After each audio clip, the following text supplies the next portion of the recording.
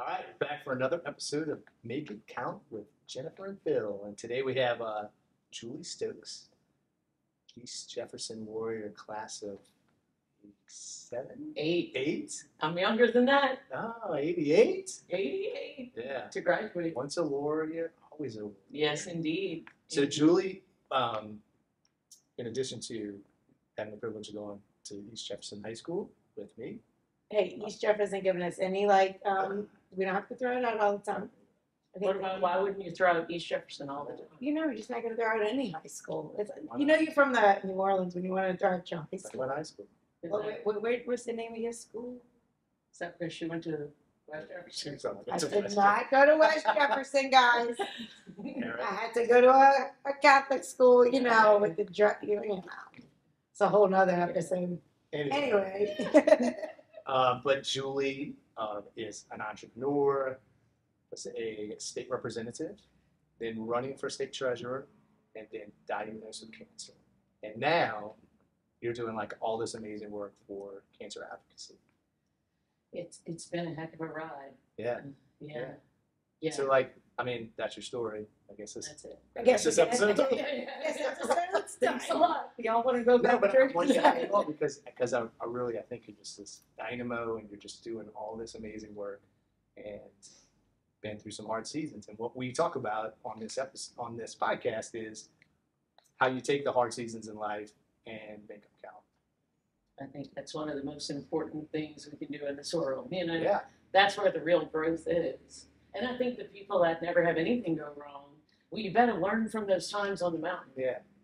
Or I don't think they're doing enough. If you don't have things go wrong, you probably ain't doing enough. So, That's Yeah. that's what a friend of mine told me. I said, well, you know, it's all this stuff, and this is going wrong, and that's going wrong.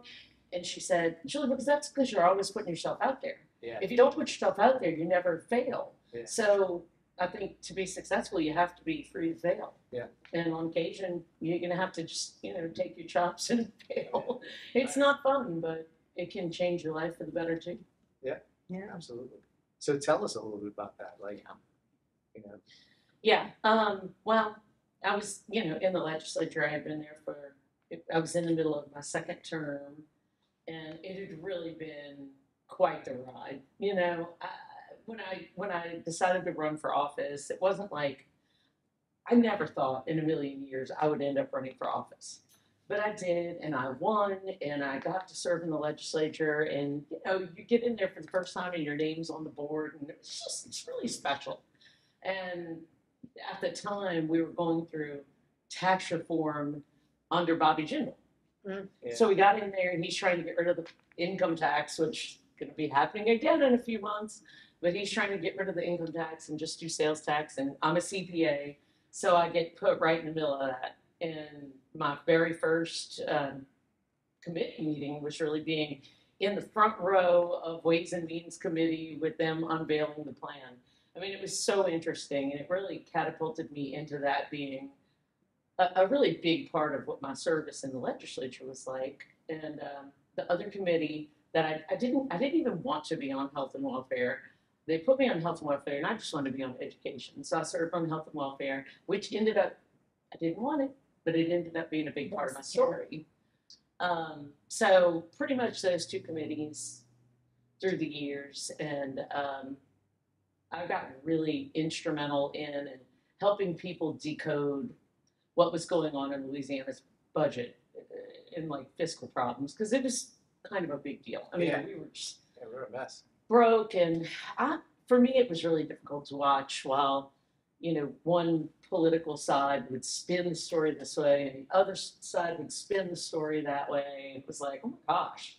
Like as a CPA, I'm like, can we just like Talk the numbers. Yeah. It's black and white. Oh Yeah. my gosh, it's black and white, it's just numbers. And so, you know, I toured the state a few times talking about that. And, you know, when I was running for treasurer and everything, my, my whole thing in running for treasurer was that I felt like we needed one objective truth and that we needed somebody at the state level, at the statewide level, that would just be this unbiased documenter of truth. And um, I felt so passionate about it. It was going very well. It was probably one of the most exciting times of my life. And during that legislative session in like April, um, I was, we live like in these apartments next to the Capitol. In, in there, taking a shower, and I feel something weird, and I'm like, uh-oh, what's that? And I mean, but my mind starts going again with like, what do I have to do tomorrow? What's going on? You know? Yeah. And it was like, well, I'm not going to be paranoid because clearly this is going to be nothing. I mean, I'm always vigilant about my health, and nothing is ever anything. I've had MRIs and this and that. Nothing's ever anything. So I don't have any family history of breast cancer. That's just stupid. That's not going to be the reality. This isn't gonna happen to me. No. Yeah. And so I went on, you know, running for statewide office, needing to be in the legislature. When you're running statewide, it's not really an opportune moment to miss a ton of votes. Yeah. I had a whole bunch of legislation, and I always did. Like I, I love passing bills, which is fun. Mhm. So I didn't go in, and so I don't know. The, the legislative session usually ends in early June or so. And I remember it was probably the last day of session because we were sitting in my apartment and I had my campaign staff there and I was going through all my to-do folder, like giving it to people to take care of so that I could just run straight in to doing this. And I ran across my doctor's card and I gave it to my campaign manager at the time and I said, make me an appointment. I felt a lump. And everybody in the room was like! I mean, it was just like this, just jaw drop moment, you Mhm. know? And I was like, it's not gonna be anything. I'm not worried about it. I mean, calm down. So she, Just a lump. I mean, it's probably a cyst, some stupid little thing. Or Some- dense tissue, But yeah, because that is like a thing. I, Oh, my I have it. Yeah. yeah, we can talk all, that's Yeah. a whole, yeah, That's another part of being a woman, Phil. yeah. it You wouldn't is understand. hard. It is hard. Thank It really you. is. They don't have pockets. We don't have pockets. They We have dense tissue. don't, we got to. Dense booby tissue. No, Call no that idea. muscles. That's not what Those it's are my called. No, it's not. It's not. Those are my It's an facts. inadequate amount of fat between the, the little, um, uh, what do you call them, the, uh, ducts. The duct, Milk ducts, You know yeah. what? You know this really sucks about being a woman. Y'all got more body fat than that. It really. You does. do? It. It's ridiculous. I know, Stop, I know. ladies. I know. You got whole- your ass and your boobs and all the things. You can be little and have more body fat than me just because I'm a dude. exactly. It's just awesome. But yet we're held to the same standard. Yeah. Exactly. Yeah. Wait, no. It's a whole nother. It's a whole nother podcast. Yeah, I know, we don't wanna get lost in that. But yeah, we could probably. We could. we just. I just want to do a podcast episode with me and a bunch of women talking about how much it sucks to be a woman. I wanna come back to that. I was Like, gonna say I- I don't want to be there. I've got, a- shaking his head like, yeah. yes, I've got a routine for that. You just ask my husband, she's like, I have pockets, loose Yeah. clothes, socks. I'm like, yeah, Dense tissue. yeah, yeah, that was hers, but yeah, it's a problem. I'm sorry. We're talking Okay. about your cancer journey. Right. I just made a big joke. Uh, uh, that's okay. I'm, I'm I'm used to that, Yeah. right? you have to have thick skin, Yeah. but not necessarily dense tissue. Different thing. Different right, right, right. Okay. So anyway, yeah, I give the card to my campaign manager. and She makes the appointment. She has trouble getting the appointment scheduled, and finally she's like, "Go over there today." And when I went over there today, that I, my doctor wasn't even around, and she's a friend, but she Yeah. wasn't even there. And her PA or whatever it was like, oh, "Yeah, you probably need to go get a scan." And just, I mean, to cut it short, just, oh, actually, on my way to get the um, mammogram. oh, the- Yeah, it was the first mammogram. I got rear-ended. So Oh I'm like on. Jefferson Highway, about to turn into Ochsner, and I get rear-ended, and I'm like, this is not a good start. Right.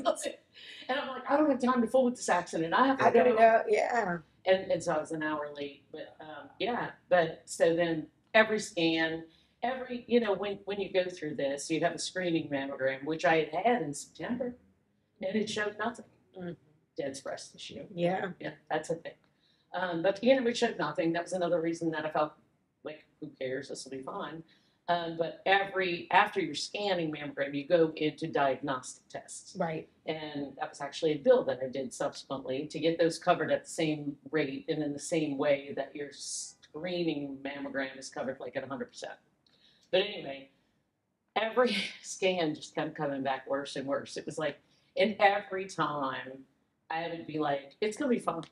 It's gonna be fun. To where like weeks into it. After it was not going well. It was like every time I went, it was like, yeah, it's nothing. This looks kind of bad. Mhm. And I'm like, it'll be fine. it'll be fine. I mean, my, my motto, I had this, it was a, a picture of, it was like a little, a dog sitting at a desk with a coffee mug. And its coffee mug says, it will be fine. And there's a fire everywhere in the room. Like, That's your that's my life. And I mean, I was still traveling statewide doing fundraisers and going to parades and all this stuff. And and boom, it came to me when uh, my my friend Dr. Corsetti, who was my eventual surgeon um, for the cancer surgeon, uh, when I saw his name come across my phone, it was like, oh God. I mean, our kids had gone to school together, and so I knew him well, and I knew what he did. we hadn't talked about the situation at all. Yeah. So when I saw him name, I said his name. I said, and that's when he told me it was triple negative, and that's that's a tough diagnosis. I mean, that's not the only tough diagnosis in breast cancer, but it's not one of the best. Yeah. And like you know, a lot of people don't make it through that. There were three of us that I know of that got that diagnosis in the same week, and one of us didn't hear. You know, so it was time to be serious and and deal with it, and it was the hardest thing I ever did. I think it was harder to drop out of that race than it was to know that I had the cancer. It was like, well, I can't control the cancer, but maybe I could still run. I mean, like, I. I you know. And uh, eventually, I had to just say, well, you know, God's got another plan, and uh, it's not the plan that I want, but I'm going to have to acquiesce to it and reframe my existence. Which it was a sharp turn. So I think it was like July. That was like on July second. We had the that most pretty quickly. the most dismal July Fourth. I mean, all sitting on the sofa like it was just pathetic. The four of us, mm-hmm. my family, just sitting on the sofa, binge watching stuff. Like, okay, everything sucks. Yeah. And then July 6th, we were leaving to go to Utah for this Women in Government conference that I was part of. It was a concluding thing. So I put out the press release on July 6th, and my phone blew up, and we had uh, the news, Channel 8 came over to interview and talk about what had happened. And, and it was just after that, we went out of town, but it was just one after another, after another, after another of like media coverage and talking about what was going on because I decided that I wanted it to be, I needed people to know. I mean, my whole life had been about this race. So if I wasn't going to do this anymore, it needed to make sense. Yeah. I'm just, I don't, I don't, You don't bow out I, just I- anything. I don't. And I don't, that's right. And I don't do, like, there's not two of me. Mhm. You know, one that's the public persona and then one that's the girl sitting here talking to you guys. It's like I've only got one Yeah. and I can't fake it. So we didn't, and you know, I had that same campaign manager um, put out bi-weekly emails to, to talk about the cancer and what was going on, and we really stayed plugged in through the whole thing, and it was quite the journey. Um, some works better than others. um, and did, you, did, you do chemo? I did five months. And so three of the months were uh, Taxol, which wasn't all that bad. I mean, it, it's different for everybody. That Yeah. one was like, man, I could have run for treasurer.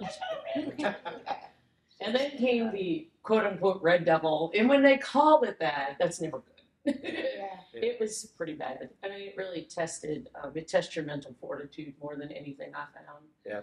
It was a really, it was really tough. But um, through all of that, I was blessed really to have a, people that reached out to me through cyberspace, you know, and said, I, I was triple negative too, and if you need to talk, and I'm like, oh my gosh, I need to talk. And those people, you know, I, I kept talking to on text messages and everything when I questions or I was just freaking out.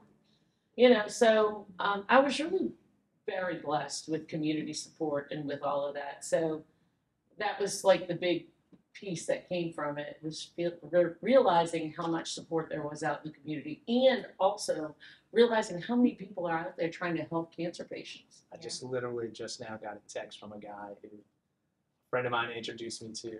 I've never met him actually, but introduced me to him because he's got colon cancer. And like literally, he just texted. You know, he'll text me every couple of weeks. You know, hey, just had a doctor's appointment. I it's kind of That's- like That's powerful. It Yeah. Yeah. it's kind of like when you get a red car. This is like a simple example. But like when you get a red car and then you start noticing all the red cars. Like you don't realize. Like when I lost Grayson, I didn't realize how common it was for people to lose babies in the second, third stillbirth. Like it is very common, and people just don't talk about it. You know. So like to have people reach out to you as a as a woman, Phil, I want to ask Julie about that because man, I just sitting here, I'm super inspired by you, and I kind of want to be you a little bit, but um, not so much in the legislator because I don't like all that. But um, you making that decision, and I'm going back a little bit of like, because you were the state representative, that's who you were, and you you loved it, that was your passion,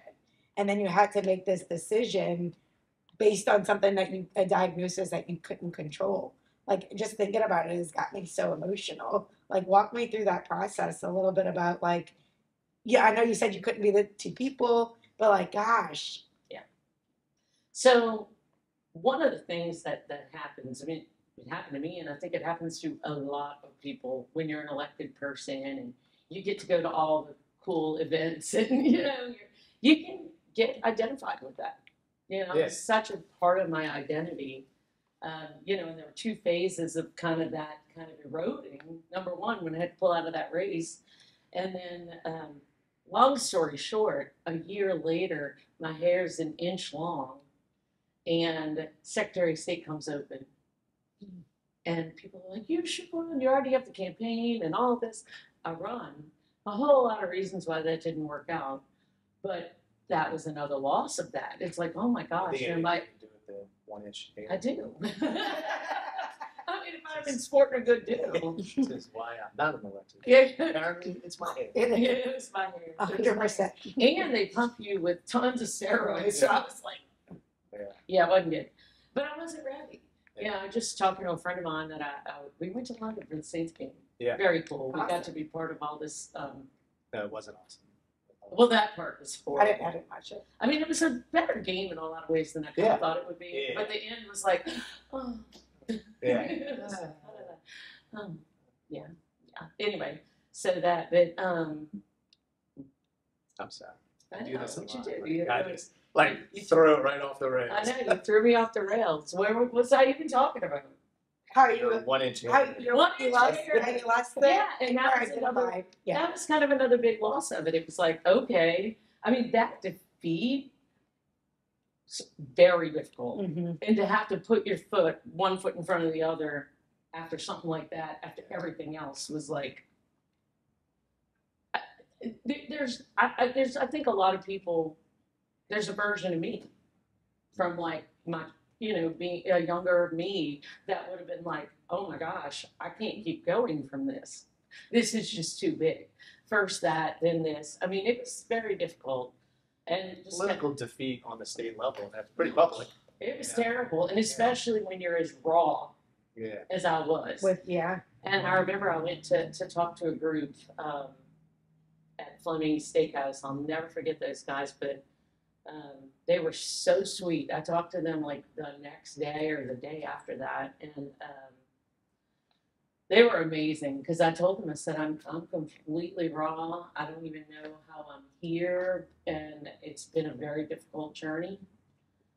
But I'm just going to keep putting one foot in front of the other and know that as bad as it gets one day, the next day can bring something beautiful.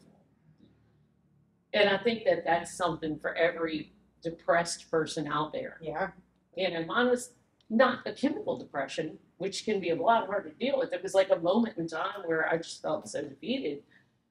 But it's like, it's going to be okay. It's temporary. And so you just keep putting one foot in front of the other. But the fact that you could be raw and real with these ladies as a woman, I think that's what we should title this one. Phil's not a woman. No, I'm just Bill's kidding. not a woman. Um, it feels like I Hopefully, we don't have to So, like, that. so much so much comparison with women that like seeing you as a public figure then coming out of that and being so vulnerable Yeah. and raw i think people could relate to that a lot and they felt more empathy with you than anything that happened to me too like people were like oh so you are human and you do cry well yes i do you know like i just think that it, it takes courage for us to just kind of like unravel and, and maybe for you too. Cause you cry all the time on podcasts. No, I cry. Yeah. First podcast feels like here, here's a tissue. But it ta- I think that that's what this podcast too is all about. That like we're all we all bleed red, like we're all the same. We all have these feelings in some capacity or the other. So how can we all help each other to get through it, right? That's exactly right. And I mean, so, you know, if you gloss back over and you come out and you're like, I'm perfect again, that has no value. I mean, it might have value to you keeping your dignity, Yeah. but in the end, it's all about authenticity. And without vulnerability, there's no authenticity. Right. And um, failing. I mean, it's like first to have something taken by no fault of your own. Well, maybe if I would have just gone to the doctor right away, maybe I wouldn't have had to do five months of chemo. But I mean, it's I pointless think to if you rehash had stuck that. it out, you would have won. I did. I you played that cancer card. Oh, I know. I know. Well, I thought that would work in Secretary of State, but it did not. that was an interesting story. When not in it, but it was just this Did you weird, play it? weird. I well, we we we did a little. you Because know. I still play it. Yeah, yeah, we did a little. Um, we, it, but just the, the tiny synopsis, that race had the highest turnout that Louisiana had seen in 30 something years. Wow. And so when you're running a race like Secretary of State and you've got like, I think we had 12 people on the ballot and you're in a low information race because nobody's giving a Secretary of State a ton of money to do commercials. Yeah. Nobody really understands everything about you and you got too many people on the ballot. And, I mean, you know, what for whatever reason it didn't work out. And honestly, now I look at it and some of the things that have happened, especially in that office and with elections and all the hubbub, I'm kind of glad. I'm, I'm kind of glad because I've watched our Secretary of State have to navigate some pretty tough waters. And um, yeah, you got to have a lot of patience for people and stuff like that. And what has happened to you since like now what are you doing to make it count? Now Yeah. what like like I think that's what the important part of Phil says you're doing amazing things. Like what are those things? Let's let's plug them here. Yeah, yeah. Good. For all of our thousands of listeners that we have. good, good. The millions. So, exactly. I know, I know. It's I know. very So- I, I know. I like that. We'll, we're gonna put this everywhere. Oh yeah, sh- she's gonna blow us up. Thank That's you. right. All That's Julie. So, so what what was really cool about it is that because I, I traveled the state with the committee of 100 talking about tax reform back in 2015, and then I traveled the state doing the race for treasurer until I had to get out of it in 2017. 2018, I traveled the state again with Secretary of State, so I met an entire state of people. I mean, my I, I you know when I finished, I had 45,000 email addresses. You know, it was like it was a very it, it, really it, it still even though it didn't work out and it was raw and it was hard I, I came out of it with a ton of people i knew. Um, another thing that i noticed is that like i really liked people on both sides of the aisle. Like i didn't feel compelled to just stay in my silo. And i really looked at the different sides of the aisle as trying to solve the same problems with a different way. Not the blasted devil and enemy. We could be friends and hear each other. And the other thing that I noticed in running for those offices is how infrequently people would talk about really constructive policy. It was always this divisive, partisan stuff. And it's like, there are actual things that people like research and study and like are data driven that could help make Louisiana not 49th or 50th, mm-hmm. which would Yeah. be objectively That'd awesome, be amazing. Yeah. right? So when I first got out of the legislature, well, no, I've got to go back to cancer advocacy because that's really important. But I started Ellevate Louisiana because I thought that that would be, and it is. It's we had 170 women statewide. It's some of the biggest women leaders in our state to come together to talk cross partisan and to come up with and learn about solutions to make Louisiana better.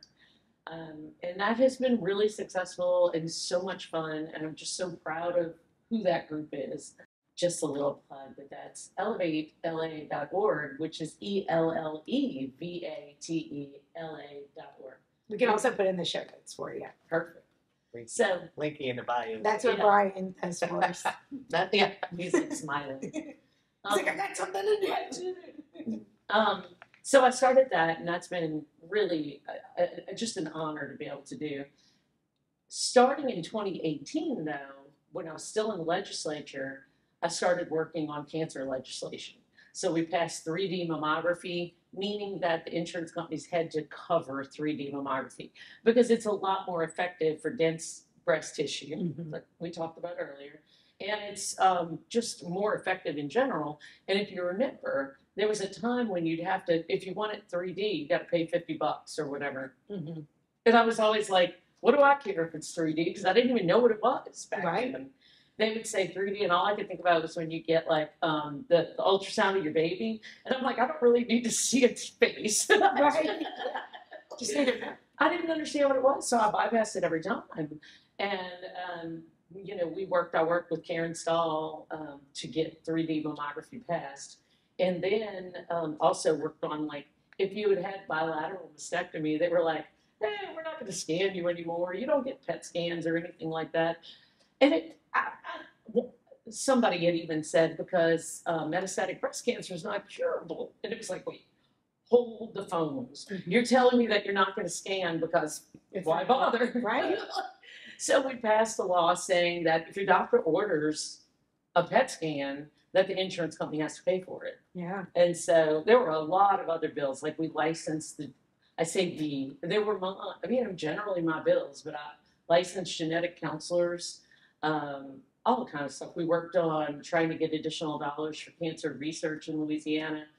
Um, because, you know, we're one of the only, well, not one of the only, but we don't have a, an NCI designated cancer research center here. Mhm. You know, One of the highest instances of cancer in the nation. Exactly, exactly. And there's a lot at play there. We've got a lot of competing hospitals and it's it's a tough environment for a lot of a lot of reasons right now. But um and then the next year, one of the most one of the bills that I'm the most proud of is that I worked with Komen Foundation um, to do a bill that prohibited step therapy for stage four metastatic patients. So, like, if you can imagine that you're stage four metastatic, and they're like, well, you know, we think we're going to try the least expensive thing first, and then we'll work our way up to what your doctor suggested. And it's like, how about not? Yeah. So, I, you know, I had Kelly Beckman, um, who's a dear friend, and she lives with stage four metastatic cancer. And we sat at the table in legislature and we got that thing passed. And it had a fiscal note. And these were the days when, God forbid, if something cost a dollar, you know. We got that passed 2020 um, with Dr. Mark Petrana. We passed um, precision medicine. Like now, it's amazing to learn. And I don't think everybody really understands how much ground is being conquered in the quest to cure cancer. Um, now, if you hear a lot of commercials that are for like immunotherapy, most of those immunotherapies are because they've identified the mutation that's at work in your tumor Mhm. and no matter where it is in the body, if it's traveled, you know, they can go in with precision medicine using these tools and cure your cancer without chemo. But we had to get insurance companies to pay for it because Right. it wasn't uniformly being covered. And then the next year, we worked on the, the biomarker tests. You have to have DNA, um, whole genome sequencing biomarker tests to be able to identify if you're eligible for precision medicine. Um, so it's just really been just something that has brought so much reward to me. Yeah. I feel like it was easy for me, having gone through the cancer, to know how I would repurpose that into good in the world because I was in the legislature and I had to start passing bills. And then when I get out of the legislature, I'm just going to keep going with this. This is something that means a lot to me. And we've been able to do things in Louisiana that aren't really happening in red states.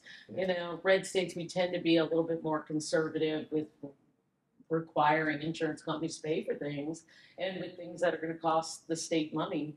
And um, I'm really, it, it, it's meant the world to me to be able to make some changes to actually bring better cancer care to patients. Oh, and you we talked about um, dense breast tissue. which um, I had a bill with Dr. Ralph Corsetti, who I mentioned earlier. Um, we passed a bill that brought the standards for what insurance had to pay for up to the standards of the American Society of Breast Surgeons. Mhm. And there is caveats in that for if you have dense breast tissue, that they have to do additional scans, Mm. not just your standard mammography that just shows a big white mass. So Yeah. you can't see a tumor in it, you can't see a mass in it. So it's been a lot of legislation, it's been, it's really become part of my life's work, Yeah. if not the greater part of my life's work, you know, between that and Ellevate. um, You're I- truly making it count. Well, It's always- gee, thank you. I'm so excited because it's like you take this opportunity to take the tragedy and turn it to triumph to help other people and knit people together in community. I know. You're like my best friend. Thank you. Oh, Shameless Y'all too. plug. I was listening to your podcast and I'm like, no wonder Phil invited me. This is amazing.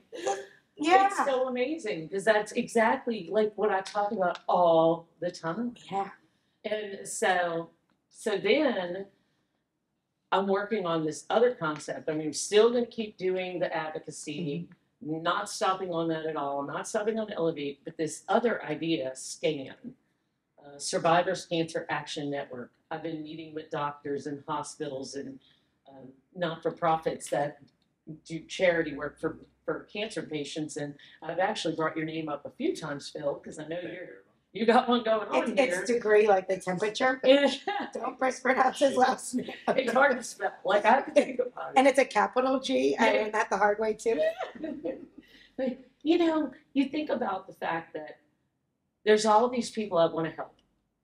You and I, Phil, talked about this at at, at, at lunch. At lunch, yeah. One of the first times that we saw each other since high school. And you said, I want to help the kids of people that don't win their fight against cancer. Right. And, but how do I find them? That's the whole thing. I'm looking with SCAN, and I've already started, and I've already got the seed money, and we're already building it out, but to build out a private social network for cancer patients, cancer survivors, caregivers, doctors, hospitals, drug companies. The LCRC, the Cancer Research Center downtown, wants to keep a list of all the clinical trials going on on there. And we're working with another company, um, and we don't quite have it finalized, but it's so exciting to provide navigation services so that, you know, like if you go to the hospital and you're, you're dealing with something big like this and there's a nurse navigator. Yeah.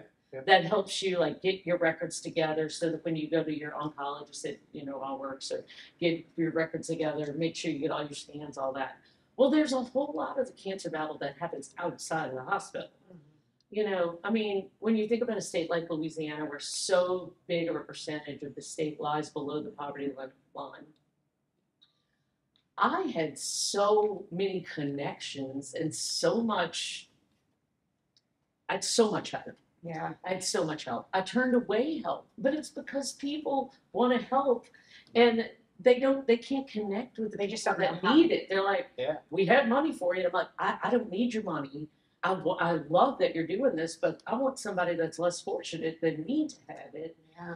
This is a met. This is going to be a network where through these navigators and through the communication that goes on, we can connect the people in need to the not-for-profits that are out there to help.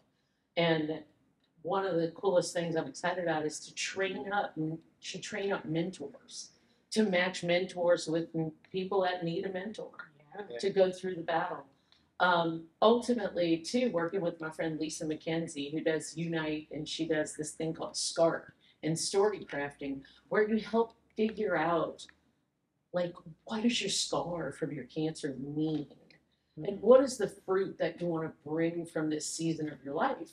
I think that through doing those programs with the people that we have in our survivor network, that we're actually going to feed back volunteers to these groups. We're going to feed back people to help, mentors.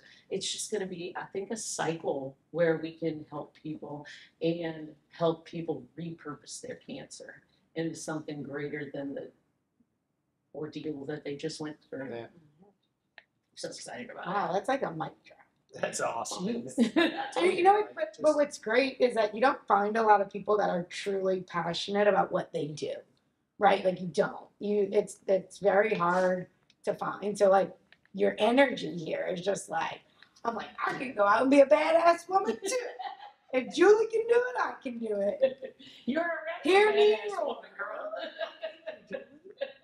She's my new best friend. Yeah.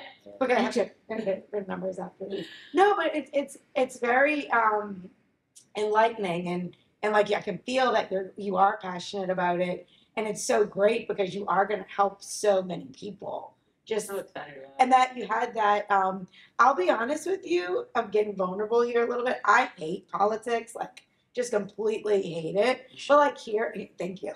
Good. Um, but hearing you and like just having a different view of politics, just hearing you talk about different things has kind of opened me up a little bit Well, about what you. like maybe I should be invested in that. We're we suck in Louisiana. No, I'm just kidding. You know, but like it's been a it, this has been an eye opening experience for me. So thank you. Thank you for that. And and I, I hate politics too. I mean, I, I do. I look at it and I, I think I look at it like from a sociological perspective.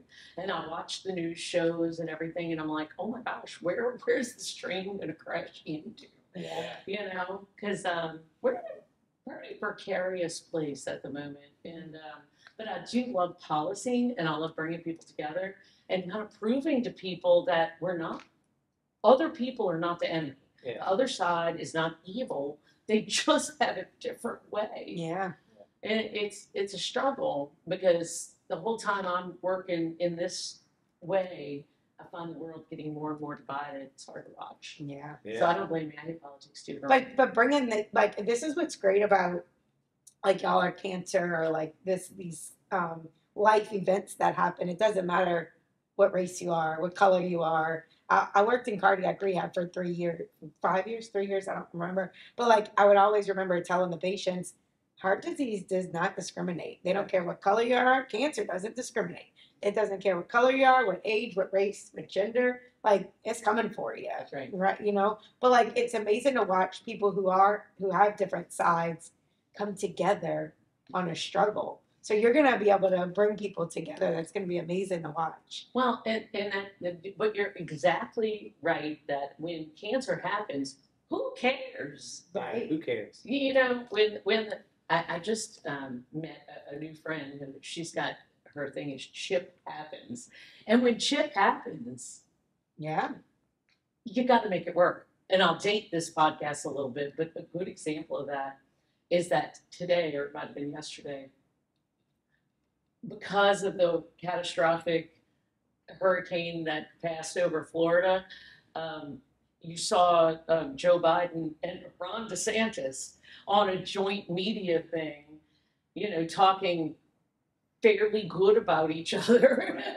it's like, so that tragedy brings people together. Unfortunately, they lose it. yeah But I mean, I just want to stay in that place. Mhm. You know, I want to stay in the place of, of just seeing the world improve, Mhm. one little nugget at a time. well just like 9-11 like after 9-11 we were all america it didn't matter Right. where, where you were but then we lost that again Yeah. right like and then so it's it's having good people like you in the world Mhm. at, at at really big places to keep moving forward and i i think that what you've opened my eyes to is that that whole um you know that guy that was walking down the sea and he would throw the starfish back and somebody said oh you, you can't help all the starfish and he's like but if i can help this just one you know i can throw it back and and you're you're that one you're that one that's going to make a huge difference Well, I appreciate that. I, I really, I appreciate what you guys are doing because when I listen to your podcast, it's just so tied in with the way I think about loss and suffering. And I think it's beautiful what you guys are doing to let people tell their stories of loss and how they're turning it into something good in the world because that makes it It's not worth enough. it. Not enough of that. yeah no it's not there's not Well, the more you talk about it, the more people will be like, wait a minute, maybe there's something good that can happen from this crisis, this disaster, this health problem, whatever. Um, I think you're on good, a really good trajectory with this. I'm really excited for Thanks, you. Julie. So, Julie, if somebody out there right now ha- just got the diagnosis and maybe they're torn between making I go back to making this decision of what's going on in their personal life versus what's happening. What advice would you give them? Um, well, you know, first of all, if if you have not been getting your scans Mhm. to find out if you're, you know, if, if you've got a problem and you don't even know it, go get them. Um, you know, no matter what that is, your colonoscopy, nobody likes to do that. Mm. But, you know, they do give you good medicine. and you wake up and you don't even know what happened. So go get it. And go get your mammography and make sure that if you've got dense tissue that you're, you know, getting the enhanced, you know, scans that you should get. And then if you feel a lump, like me, and don't be a moron, go in immediately. And then, you know, finally, if you're struggling and you have cancer and you're you don't know how you're going to make ends meet. You don't know how you're going to feed your kids. You don't even know how you're going to get up off the stupid sofa. Reach out. You know, if you've got if you've got somebody out there that you know of already, reach out to them. If you don't, email me, Julie at stokesflame.com, and I'll help connect you to people. Yeah. And then if if if you're like, I just want to register for scan, you know, so that when we get the whole network built, Yeah. I can be part of it. Or if I want to reach Julie and I just don't know what the heck she just said, that's Stokes Flame. But if you like just don't know what she said, go to scan la.org and you'll find a place where you can sign up for the private social network once it's all built out. Awesome. And we'll put all this in the show notes for you. Julie, thank you so much for coming stop by. I would love to follow up with you Me and see how things are going and just how you're keeping on making it count and paying it forward. Yeah. Told you this was gonna be a good one. Well, I, you can't believe everything Phil says. you get a grain of salt. All right, guys, it's time to go out and make it count.